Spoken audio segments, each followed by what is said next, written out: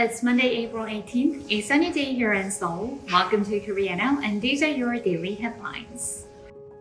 South Korea's new COVID 19 cases fell to a 10 week low as the Omicron variant began to recede. The country added 47,743 new infections on Monday after reaching the peak on March 17th.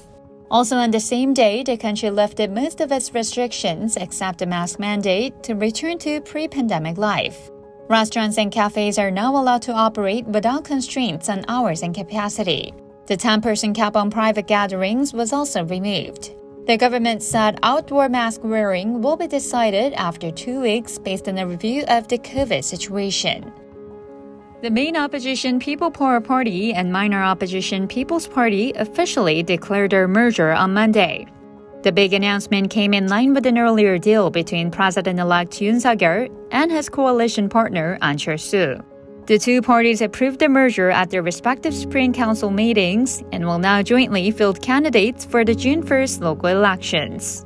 The recent merger was part of an agreement between Yoon of the PPP and Ahn of the People's Party, under which Ahn dropped out of the presidential race just days before the election to back Yoon's campaign.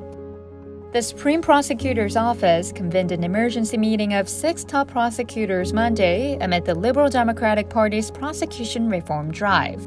During the meeting, they discussed follow up measures to Prosecutor General Kim Oh-soo's resignation and sought ways to protest the DP's push to deprive the state prosecution of its investigative power.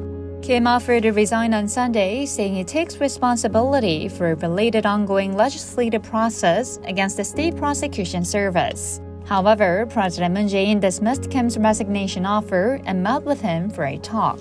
Those are your top stories for today. For full-length articles, you can always check out our official website linked down below, and don't forget to subscribe to Korea Now for more daily updates.